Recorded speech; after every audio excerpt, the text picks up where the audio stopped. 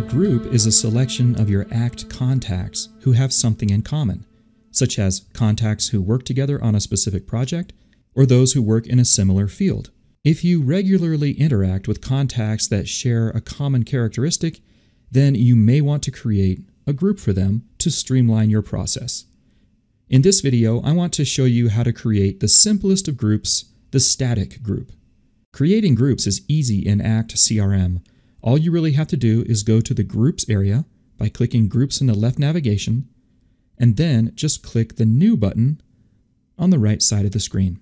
Now give your group a name.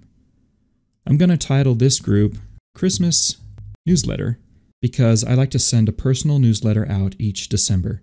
If I wanted to, I could also add a quick description for what this group is all about. That's it. The group is created in your ACT database as soon as you click the Save button. You can see my group now appears in the tree view on the left.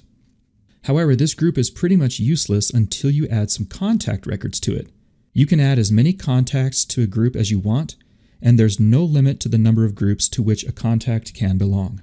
You could even create a subgroup to this group if you needed to separate your contacts into lower tiers of group membership here.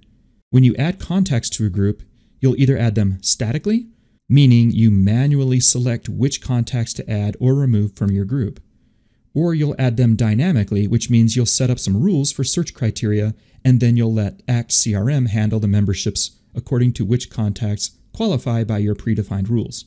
The dynamic group feature is only available in the standard and expert tiers of ACT CRM. But for this video, we're going to just keep it simple. This group was meant to be a static group, so here's how to manually add contacts to it. I'm going to click the Add or Move button, and then there are two different ways to statically add members to a group. The first is here from the context of the group itself. So in the top area, I'm going to click the Contacts button, and now I can use a search or just scroll through my list to find each contact who should be a part of this group. Select them and click the right arrow button to add them to the group manually. If you hold down the Control button, you can select more than one contact. Once you've added all the contacts you want, click the OK button, and you'll see their names appear in the static members area. Once you click OK, they will be manually added to this group. Now I said there are two ways to add contacts to a group statically. The second way to add them is from the context of an individual contact. So I'm going to go to my contacts area, and let's just say that I added some new contacts to my ACT database, but while I was entering data into all the fields, I decided to add them to my Christmas newsletter group as well. One of these contacts is Jeffrey Lebowski. Let's add him to my new Christmas group. To do this, I'll click the Groups Companies tab at the bottom, and then in the dropdown, I want to make sure it says Groups and Subgroups. The only thing I need to do now is add remove contact from group. This opens up a window showing me all the groups in my system, so I'll click Christmas Newsletter and move that to the right column.